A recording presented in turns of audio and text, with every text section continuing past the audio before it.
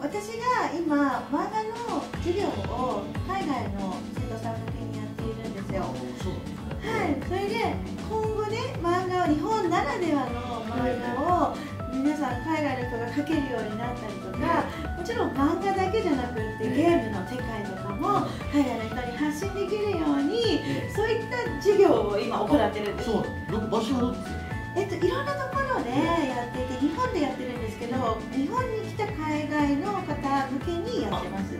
そうそれ目指してそうなんですそうなんです。はい。もちろん今後あの海外の方に行ってそれで授業したりとかもしようとは思ってるんですけどまずは日本に来た外国人観光客の方に向けて発信をしてるんですよ。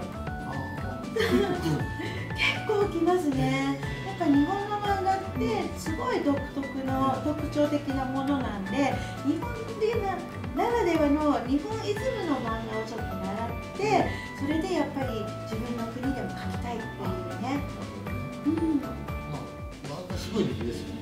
そうなんですよ。海外にコスプレも普通にやってますね。そうです、ね。コスプレも日本がねあ発祥ね。で、うん。ね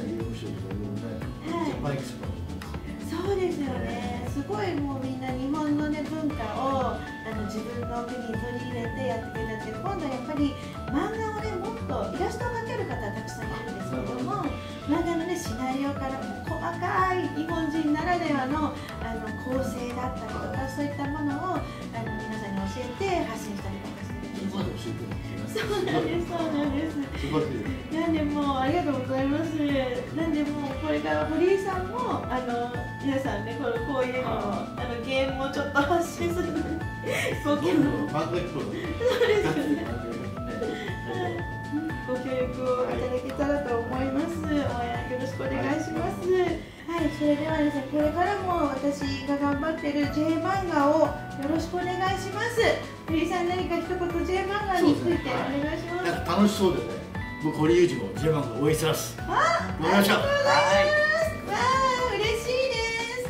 ありがとう堀江里さんにインタビューさせていただきました。